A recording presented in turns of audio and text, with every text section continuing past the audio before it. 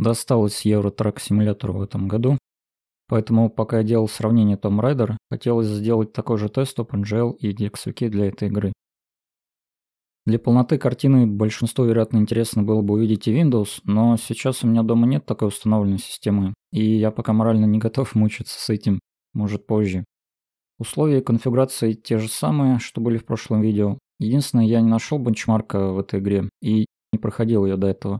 Поэтому у меня нет идей, в каком месте лучше было бы провести замеры.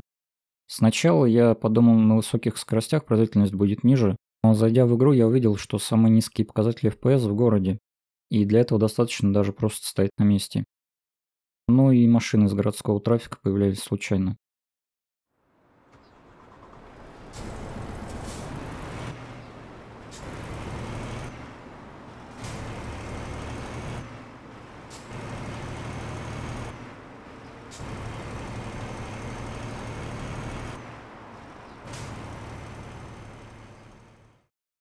Результат получился очень грубым, но однозначно можно сказать, что через Proton игра показывает производительность выше примерно на 50%.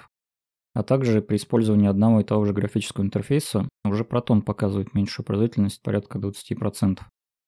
Собственно, темп игры казался мне довольно спокойным, поэтому я предполагаю, что на некоторых конфигурациях и ограничением в 60 кадров работа OpenGL порта в целом может иногда оказаться вполне приемлемой, но все же разница в производительности на 40-50%, особенно когда дело не доходит до отметки в 60 FPS, это довольно ощутимо. Правда, я не могу точно сказать, сохранится ли такое соотношение для менее производительных конфигураций. На этом все.